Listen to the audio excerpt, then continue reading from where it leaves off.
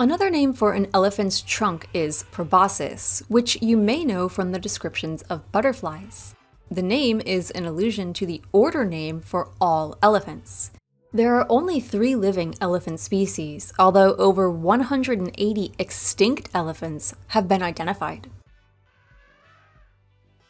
The English word for elephant is derived from this old French word, olifant.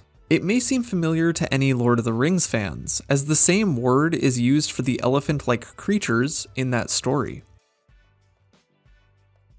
Of course, the word elephant has even deeper roots, going back to at least ancient Greek. What's more, at first, the term wasn't used to describe the animals, but the ivory of their tusks.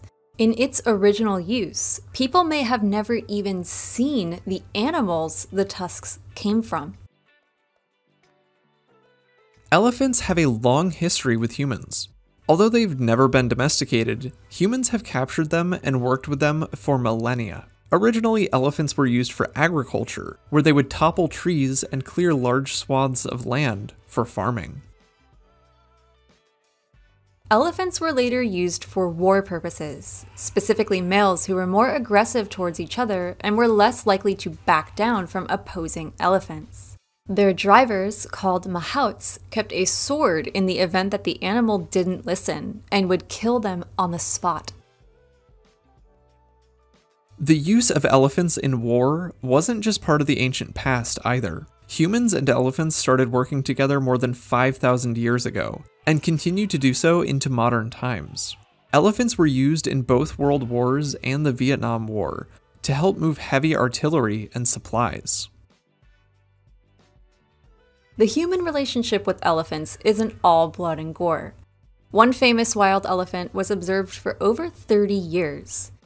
She's known as the most studied elephant.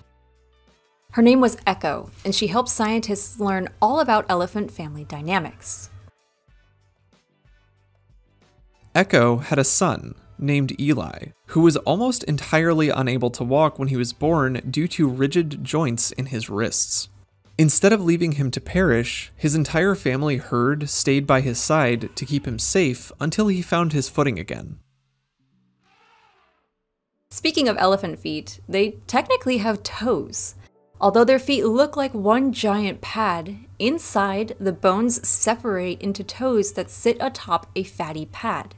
It's almost like they're wearing wedges. Elephant toenails also help give a clue that they have toes inside their trunk like feet.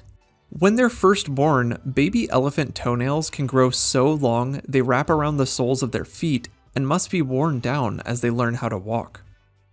You've also probably heard that elephants are the largest living terrestrial animals, and they can easily overheat. But if you weren't aware of these facts, you can learn all about them and more in our full elephant episode. There are cards on screen you can click right now. Go ahead, click one. There's lots to learn. And thanks for watching Animal Fact Files.